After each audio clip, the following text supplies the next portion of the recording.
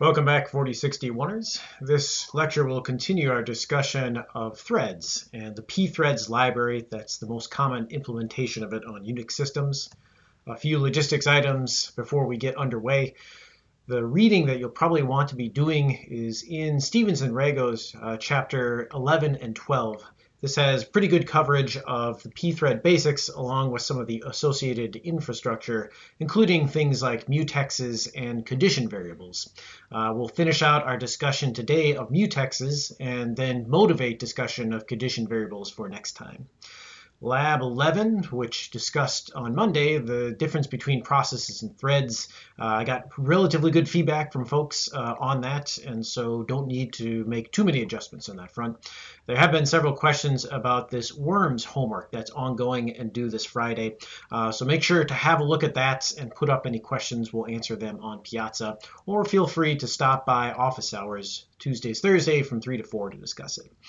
I did manage to post Project 2 uh, recently and look forward to a separate video introducing uh, that project and overviewing it. Uh, I should have that up, maybe not today, but tomorrow sometime.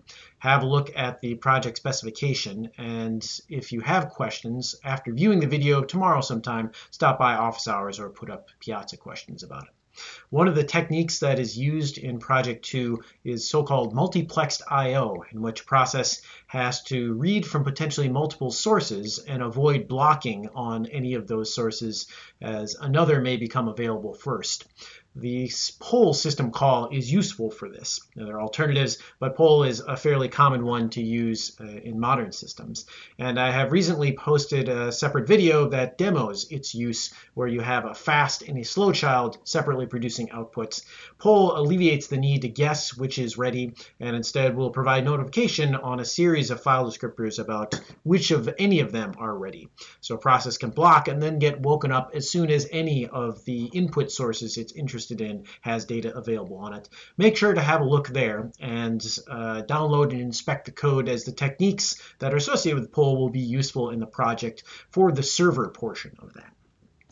All right, let's get back to business and discuss these threads. We had left off last time uh, surveying some of the aspects that are interesting associated with threads. One of the common reasons that one would introduce threads into a program is in an attempt to achieve better performance, where you'd launch multiple threads that are cooperating on a task. And we discussed briefly uh, this uh, Monte Carlo approach to approximating pi, which involved a whole sequence of threads, each plopping down dots in a unit square, and then determining if the dot that is random selected is within the bounds of this upper quarter circle. Uh, if so, then you increase some count of dots that are within the area of the circle and can therefore calculate later on how many total dots are within the circle versus uh, total points. Uh, that fraction gives an approximation for pi with appropriate uh, arithmetics, with putting down more total dots uh, leading to better and better approximations. So there was nothing inherently sequential about this process. So we could start a whole bunch of threads all laying down dots in here and simultaneously updating the count. Uh, the trouble that we encountered is that even something as innocuous as a global variable uh, that's stored, for instance, at a memory address 1024, if multiple threads are attempting to increment it, this isn't an atomic operation. And so as we would see each thread executing, the ideal behavior is it loads this variable from global memory, increments it, and stores it back. But this process can be interrupted so that as a thread loads, another thread also simultaneously loads, leading to missed hits. Uh, and we observe this, that the approximations, as you would start four threads running on this, uh, would actually be quite bad. Uh, that not a good estimate for pi at all. Uh, to that end, one needed to introduce some control mechanisms, and the mutex is the control mechanism that is most commonly associated with coordinating threads. It's shared a lot in common with the uh, semaphores that we've discussed later, and will underscore and cement that similarity uh, later on in this lecture. Generally, a thread would call this pthread mutex lock, uh, do its critical region, and then unlock it down here, with the responsibility of initializing that mutex falling to some main thread that does so before any of the worker threads fire up. One could then easily surround the critical region here, which is just the increment of this global variable, with a mutex lock and unlock.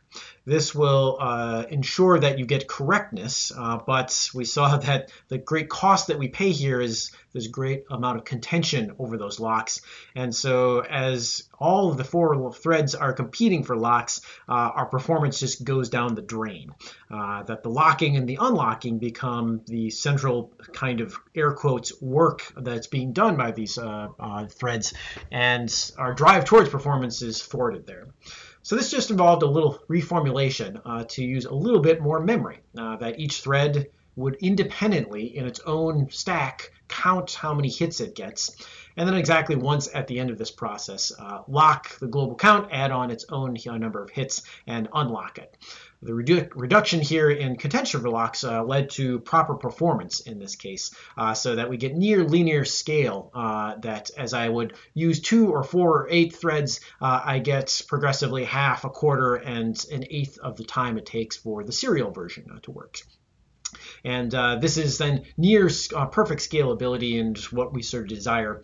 You'll see this trade-off a lot that in order for threads to actually give performance, you'll need to do some amount of splitting up of the data uh, that they modify so that they each have their own private copies of it.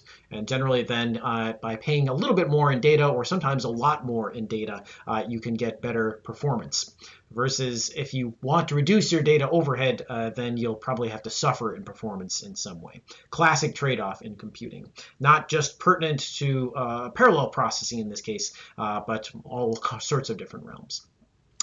The next step that we want to come along this lines is just to discuss a little bit about the semantics and operating system support uh, for these mutexes. So consider the following program. Uh, in the main thread down here, we are going to initialize a mutex and have two different threads created that are going to compete for it. The main thread simply waits for both those threads to finish uh, and then gets rid of uh, anything else that is uh, cleaned up. The worker threads themselves start life in this doit function. Uh, that's evidenced here by doit being passed in as one of the arguments to the two pthread create calls. And all these thread workers are going to do are to lock down the global uh, uh, mutex, uh, double this glob global variable, and then sleep for a moment uh, before unlocking and proceeding.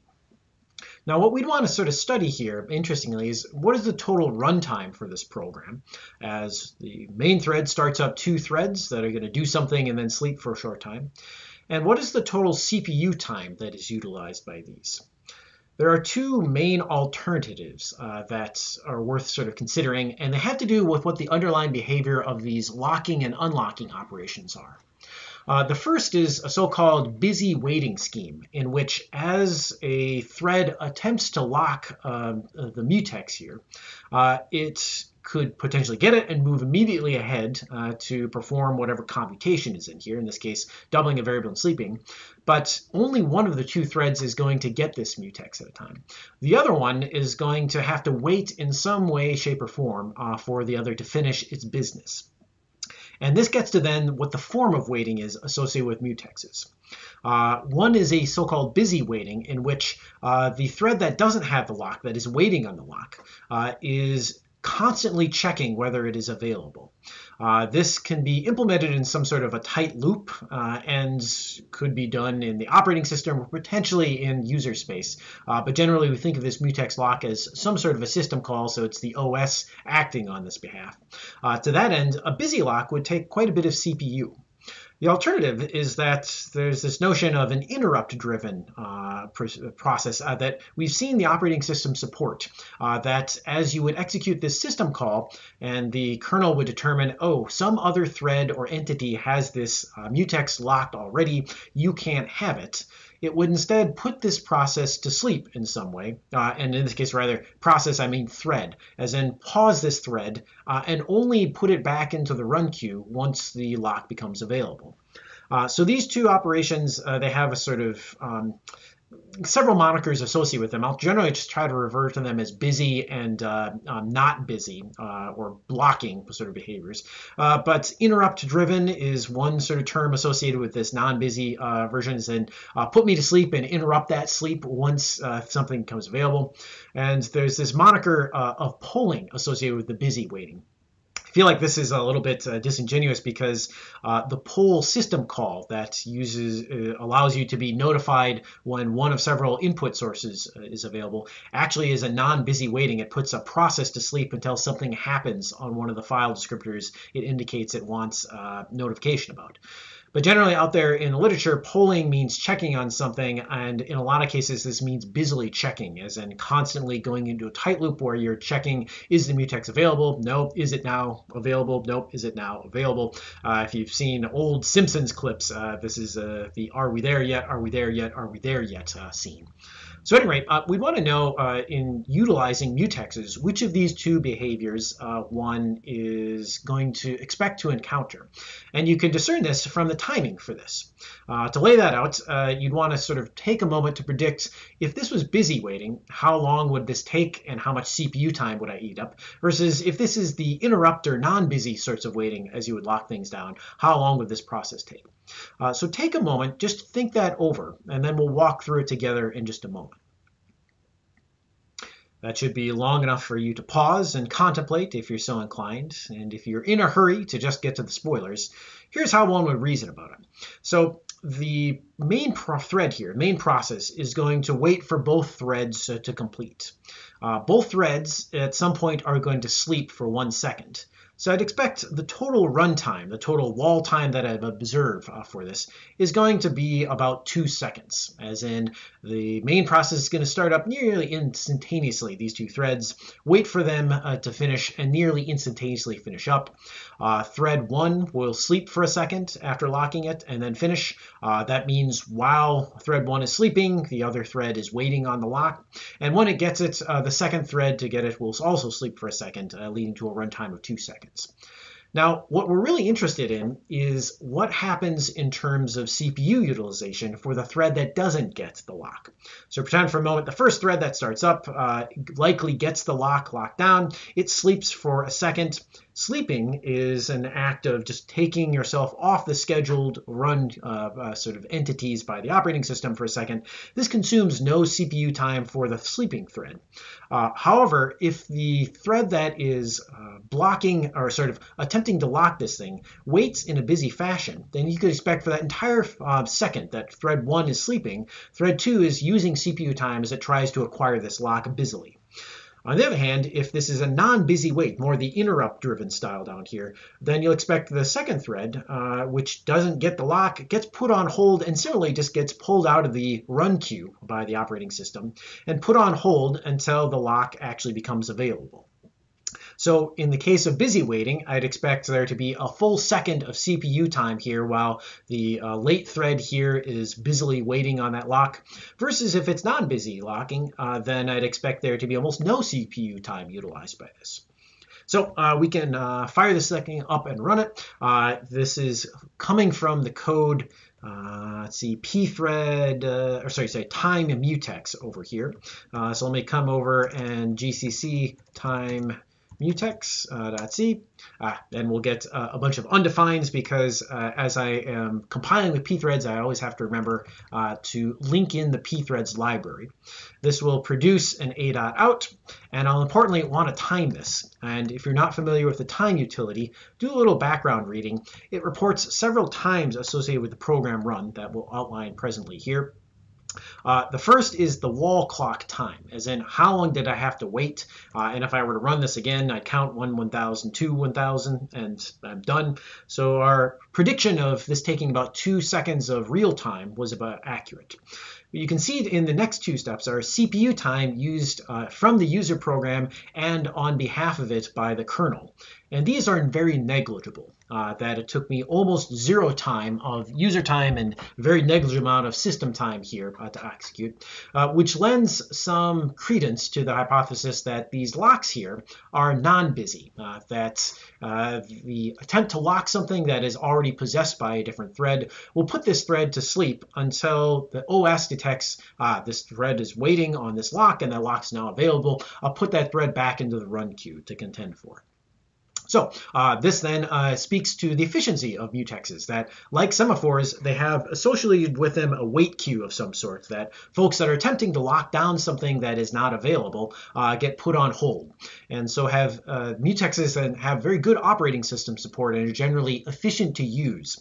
They have a counterpart, something called a spin lock that comes from the pthreads library. And this is uh, the true uh, sort of busy waiting scheme uh, that uh, you would expect. That instead of calling pthread mutex lock up here uh, and making use of pthread mutexes, instead you can replace these with spin locks. And this is done in the time spinlock.c program. Uh, let's pull that up just quick. it's in the code pack for today here, time spinlock, and sort of gives an overview of uh, their use, which is identical to uh, the mutex locks, uh, mutexes in, in general, and that you have a lock and an unlock operation on here. You have an init and a destroy versions. The uh, kinds of uh, options associated with spin locks are just slightly different than pthreads, but largely the drop-in of replacement for it.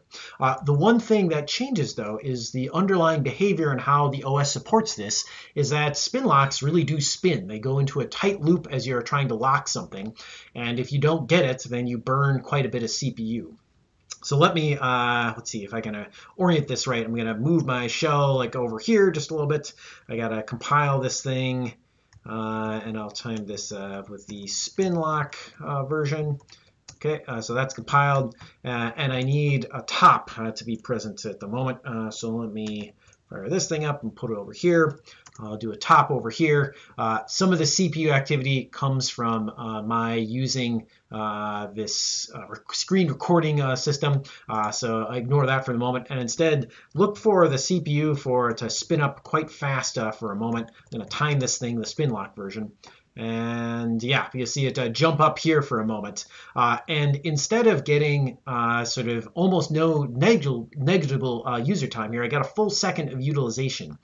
And that's on account uh, of one of the threads that comes into this region up here is going to lock the spin lock and be able to move immediately forwards to modify the global variable and sleep. The other thread that follows shortly after is going to attempt to lock and the lock's no longer available, so it's going to sit there utilizing CPU time uh, and spinning uh, while the other lock or the other thread just sleeps for a moment. Uh, the cost of this then is CPU time, but you do then uh, get sort of faster access to the uh, lock uh, than would you would be if you're subjecting yourself to the scheduler. Uh, to that end, then there are a few real-time situations in which you might want to use spin locks where CPU time isn't really an issue. Instead, you, it's much more important that you acquire a lock uh, faster. But those are few and far between, and you'll probably be aware of them as you would come into them, uh, having to do with more real-time systems where it's very critical that you move through a region as fast as possible. Uh, so generally, don't make use of spin locks unless you can think of a really good reason not to make use of it. Uh, you'll generally get better CPU utilization uh, through the use of mutexes. There are a few gotchas that uh, Bear mentioned. Uh, these came up in discussion with folks during um, uh, the lecture discussion in office hours uh, over the last couple days. Uh, so I'm glad that folks are thinking about these things. Generally, using mutexes is a little bit dangerous, just as using semaphores was a little bit dangerous. Uh, you have to choose your protocol carefully to ensure that folks that are competing for mutexes uh, do so uh, according to a protocol that guarantees there won't be any deadlock uh, that arises. Um, so for instance, if a thread attempts to lock a mutex a second time, as in I acquire the lock and then at some point in my code I call mutex lock on the same thing again, this can actually cause deadlock to occur. Uh, POSIX mutexes are aware of this sort of phenomena and can be set in various ways to fail out uh, or increment some counter indicating how many times you've locked it. Uh, this can have applications uh, generally, but you should know what you're doing in that front and test thoroughly. Uh, importantly, then, uh, the same thing that can happen with semaphores can happen as well, that if two folks both lock a mutex, or sorry, two folks are both trying to lock the same mutex and they go in the wrong order, encounter, uh, you can get uh, some sort of deadlock that results. So there's nothing inherently more safe about mutexes than semaphores in that front. All of the concurrency issues and potential for deadlock can arise here as well, in addition to potentially uh, deadlocking if you block twice or otherwise sort of misbehave on that front. There's some notable instances of this happening, and if you have access to the Robinson Robbins optional sort of side textbook on this, uh, this advanced uh, or this um, uh, I forget what it is, was it a practical Unix programming or something like that. They outlined this interesting scenario uh, a few years back in which the Mars Pathfinder probe, uh, which was designed by NASA to land on Mars uh, and do exploratory research. Uh, its underlying code that controlled the hardware had featured a bunch of threads with different priorities, and that would lock different portions of the hardware as it was needed for the various experimentations and maintenance routines that were uh, existed on the probe. Unfortunately, uh, the fine folks at NASA, in putting together this very complex system, uh, encountered some difficulties on this. Uh, and that the multiple threads that were there, that they had different priorities that had to do with how critical different systems and activities were uh, to maintaining the probe. Uh, shortly after landing, uh, the robot started rebooting like crazy. and NASA engineers were going out of their minds trying to figure out why this multi-million dollar piece of hardware was malfunctioning so badly.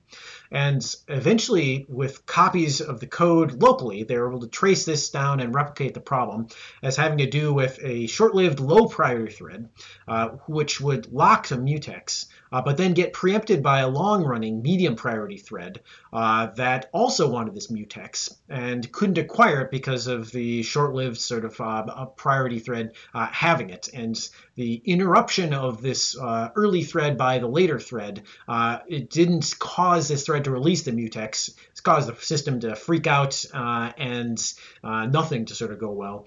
And built in was this safety critical measure that if things seemed really, really bad, just reboot the system unfortunately, you start rerunning the same buggy code. Now, if I remember right, uh, the folks, the NASA engineers, were eventually able to remotely patch uh, code. But you can imagine this was a hair-raising uh, sort of effort. That the last thing you want to do is to transmit code to the rover uh, the, or the um, um, probe that uh, would brick that machine when it's on a different planet. Um, so you can imagine uh, folks were upset by this problem the first time and freaked out by the the solution to it, which was to change the firmware on this this rover on the fly but they were able to get it working again uh, and learned a valuable lesson about the use of mutexes and threads and coordination and how you don't touch that thing with a 10 foot stick unless you're really, really certain and can do a lot of testing to make sure things won't go sideways. We'll touch on that point again later on as we discuss the appropriate uses for threads as we go forwards. Next, though, um, we want to draw some of the contrasts and similarities uh, between mutexes because we've observed this stuff uh, in, with respect to semaphores, and I think it's worthwhile to hit explicitly on some of uh, their uh, similarities and differences.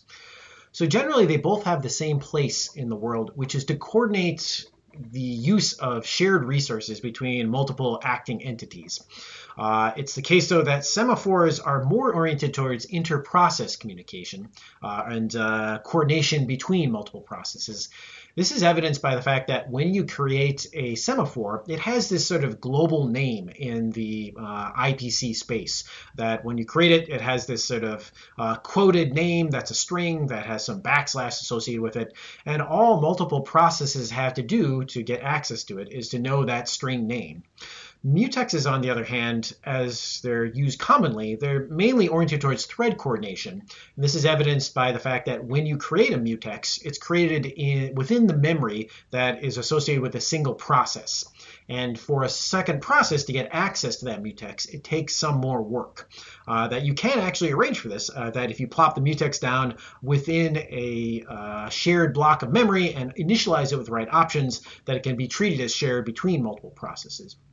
And uh, private uh, semaphores uh, can be made private so that uh, only a single process is using it to coordinate things like threads within it. Uh, you can set options associated with the semaphores uh, to make this happen. But generally, the thrust of semaphores is toward inter-process coordination, and the thrust of mutexes is towards thread coordination within the same process. Both of them we've seen then feature this uh, non-busy waiting set of semantics. Uh, that as a process would attempt to acquire a semaphore uh, and that semaphore is not available, then it blocks. And so too, as a thread would attempt to acquire a, a mutex, then if that mutex is not available the thread blocks. And so no additional CPU resources are utilized because the operating system supporting and recognizing these coordination mechanisms, if something tries to lock it and it's not available, then it gets just put on hold uh, going into the non-runnable queue in the OS tables. And when that entity, semaphore or mutex becomes available, uh, then the process or thread is unblocked, put back in the run queue, and scheduled by the processor. A couple sort of low-level differences then are that semaphores can generally hold an arbitrary natural number. Uh, zero tends to mean locked, and a value of one means available. But you can actually initialize semaphores to have values like two, three, four. Generally, this is associated with multiples of a resource being available. So if there are three of you know uh, widgets available and uh, you want to uh, sort of limit the uses of them, you could establish a semaphore with a value of three. Every time one of the process comes along and wants to lock it, it will decrement that semaphore.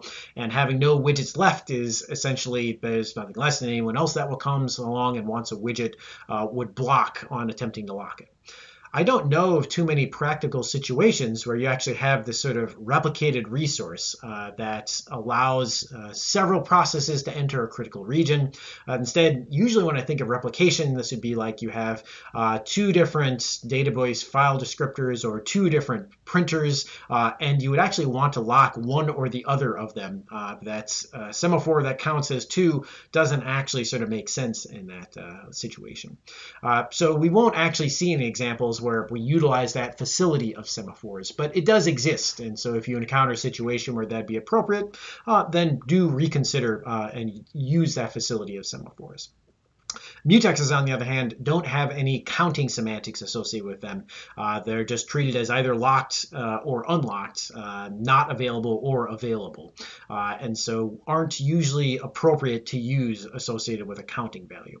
Uh, but you can recreate the magic of a semaphore there uh, by having a mutex associated with a global variable that just counts. Um, so that's possible through combination then. Finally, uh, unlike semaphores, mutexes do have this busy locking variant, uh, the spin lock that is present in most pthread implementations. And we discussed earlier, if you find yourself in a situation where you think you might need uh, such a thing, uh, then it is available uh, to coordinate threads uh, using this busy locking or polling semantic. All right, so if you have further questions about similarities and differences between semaphores, uh, please do uh, chime in uh, during lecture discussion uh, or during office hours. But there are, are, a lot of sort of shared uh, sort of uh, notions between these two. And a sort of pointed question one person asked me is, why is it that both exist if there's so much similarity between them? Why not just sort of settle on one? And this is an example, I believe, that stems from uh, computing systems not being built in isolation. That instead, uh, throughout the development of our young field, folks have tried different things. Some of it has worked out and others of it hasn't. Uh, and we touched on this a little bit in discussion of semaphores that there were actually two major implementations of semaphores out there. The older System 5 semaphores, and tied up with them in that System 5 IPC, there is an alternate version of shared memory and an alternate version of uh, the message queues.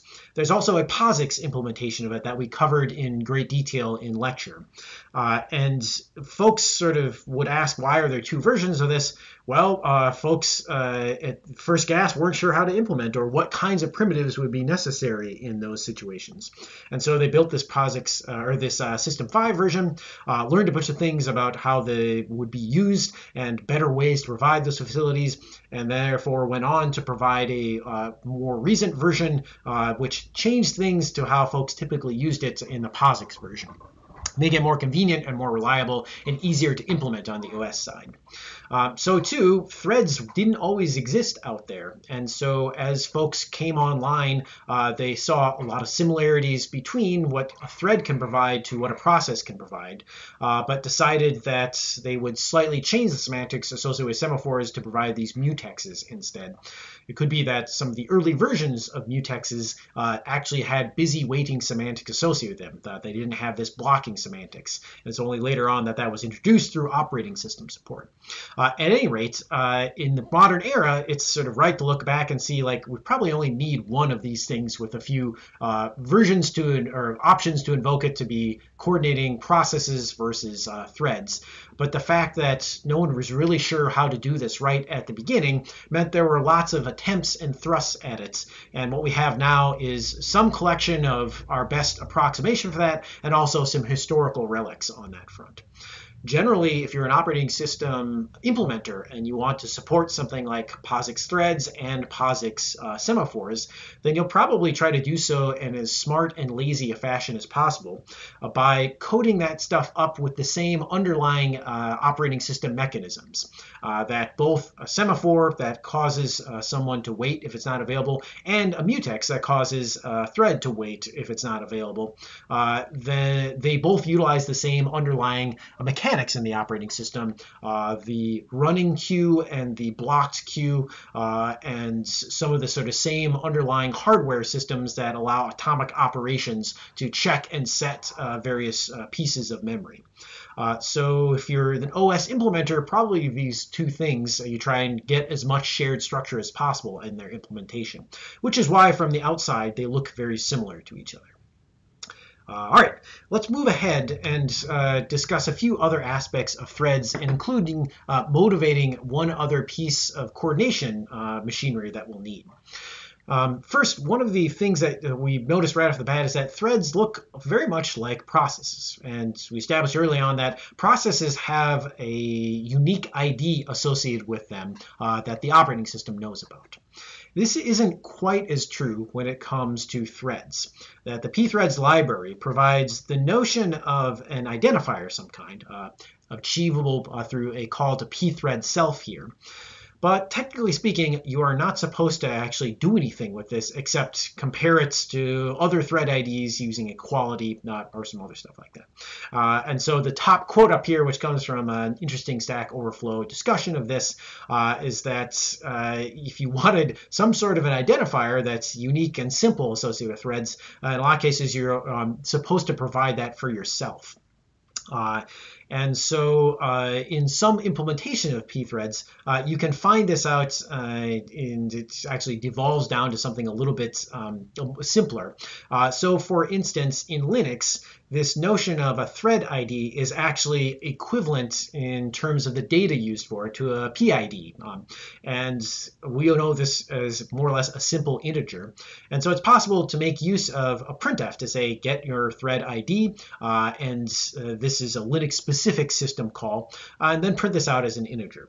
This is non-portable code, so if you were to run it on another kind of Unix, there's no guarantee that this system call would exist uh, or run, uh, so your code would be broken on that front. Uh, it's also possible on other uh, systems to, for instance, uh, call this weird get pthread get thread ID uh, NP. Uh, the NP short for non-portable out there, which may run on some Linux systems, uh, may not, and may run on some Unix systems and may not, and gets you some sort of an integer associated with thread ID. But uh, we'll focus for just a second on, on this interesting facet of Linux systems. Uh, that in, in fact, the kernel itself, uh, the Linux system, just represents thread uh, identity using something like uh, an integer uh, that we associated with process IDs. and looking in the right headers for the Linux implementation of pthreads, you'll find that pthread t is just declared as a long integer or 64-bit integer on that front. Same same as uh, PID is on that front. Uh, this enables uh, sort of code to run uh, that will print this stuff out. Again, it's not portable. And oftentimes thread IDs are quite large, uh, larger even than uh, process IDs because they're kept to some extent in a separate space. to give some concreteness to that, pop open this pthreadids.c file with me. and I'll do so over here in the editor. Uh, pthreads IDs. Uh, oh, sorry, I misspelled it, but it's right here. Uh, and if you compile and run this thing, it's uh, IDs.c and link that uh, pthreads uh, library. Let's see, uh, pthread, sorry. Uh, I'm run this thing. Uh, all it's going to do is to print out in the main thread up here uh, what its thread ID is, and in, in this child thread, print out uh, a thread ID. You can see down here, main says it's this very large uh, uh ID associated with threads, and this uh, very large ID associated with uh, the child thread here. these things, you could also actually ask about processing, and I think it's um, um, worthwhile to maybe to add that in. So I'll get PID here. I am threaded in PID percent %D.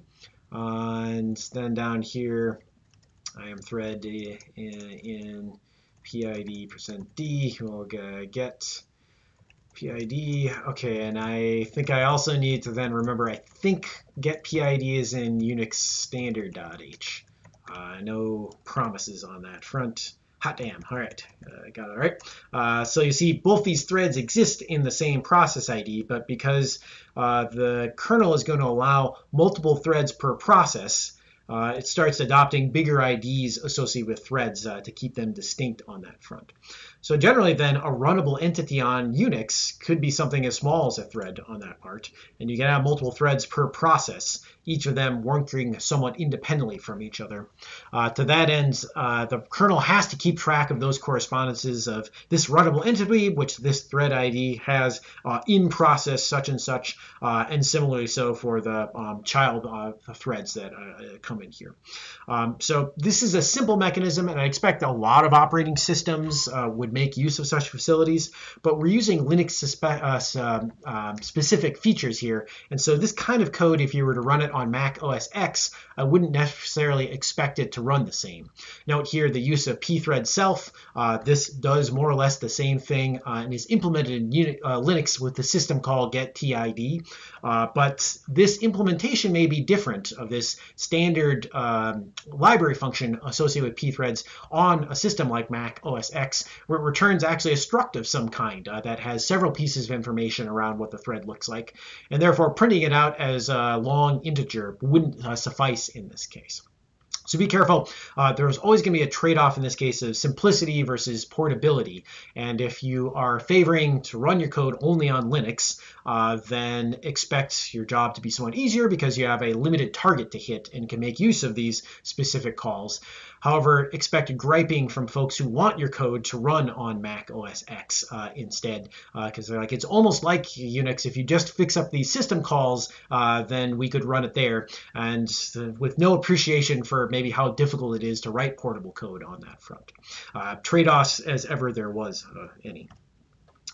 We're going to conclude our discussion today uh, motivating uh, one additional uh, coordination mechanism called a condition variable by examining this somewhat involved uh, sort of model problem. This harkens back to stuff that looks sort of like uh, dining philosophers because at initial gasp, this problem is not going to look like it has many practical utilities. We'll draw a more canonical problem that is sort of practically useful uh, later on in the discussion here. But for a moment, consider the following problem setup. We're going to have a main thread start up two sets of child threads, so four child threads total.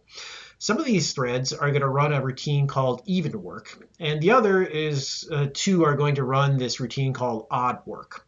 The intent here is to increment this global variable count 20 times. The job of even workers is to increment the variable only when it has an even value, and vice versa, the odd workers increment this variable only when it has an odd value. Uh, to facilitate the total count uh, reaching 20, each even worker is going to do some increment five times on this. So uh, as worker one sees, oh, the value in here is zero, I will increment it. Uh, and then I will check the variable again and see, oh, if it's four now, then I will increment it. Uh, and if it checks later and sees, ah, this value is now 8, I'll increment it to 9. So we have two competing threads that want to check for the variable being even, and two competing threads that are checking for this thing uh, being odd. And all four of these are competing to check the value of this variable at any given time. What I'd like you guys to do is to take a moment and check on, uh, sort of uh, work through the code for one instance of these workers. Uh, set out where you would need to make use of locking and unlocking this little mutex here that gives control of who has access to the global variable at a given moment. And make sure that whatever code you produce is correct by locking and unlocking the mutex in the right cases. Uh, also, you'll need to use some good old-fashioned control structures like if then else's and loops in order that each of these workers, the even worker and the odd worker, does its incrementing five times. With a total of four workers then, we should get 20 increments to this count then. This is a little bit involved, but uh, we'll demonstrate that you understand how to call pthread mutex uh, lock and unlock, and also demonstrate something sort of interesting about this problem, that sometimes when you lock, you find you don't actually want to do something to the variable. Take a moment, think this over, and suss out some code for it. That should probably be long enough for those of you who are interested in practicing to actually go about it. I'm going to speed along uh, and actually look at my version of this code, uh, which looks like the following. I use while loops here, but for loops would probably uh, work just as well on that front. Uh, up top, uh, I am going to work on this even work uh, sort of code, uh, and you should be able to translate fairly readily uh, the pattern layout here to the odd work, uh, and that shouldn't make too much of a difference on that front. Um, so the sort of t value of that that's given here, which is some sort of an identity for this worker, doesn't actually matter. It's not used anywhere in here, so you can largely ignore it.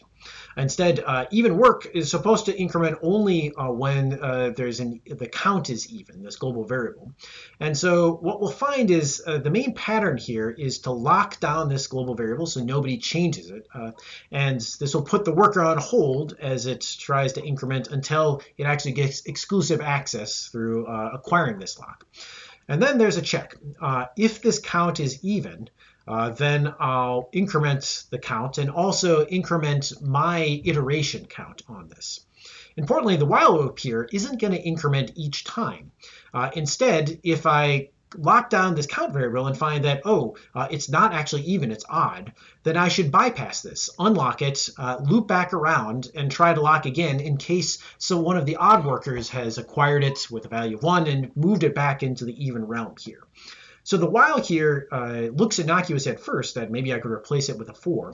Uh, but importantly, it reflects the fact that each time I loop through this thing, I may not actually have success. Uh, that this is somewhat indefinite because I lock, find it's odd, and don't do anything except to unlock. Loop back around, second time I lock it and find that, oh, uh, I also missed it because it's 3 now.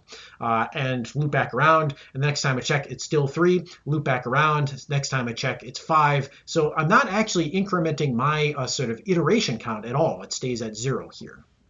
This is a subtle issue uh, that he speaks uh, one of the facets we need to discuss, uh, which is uh, this notion of the condition that I want to have true as I acquire this lock.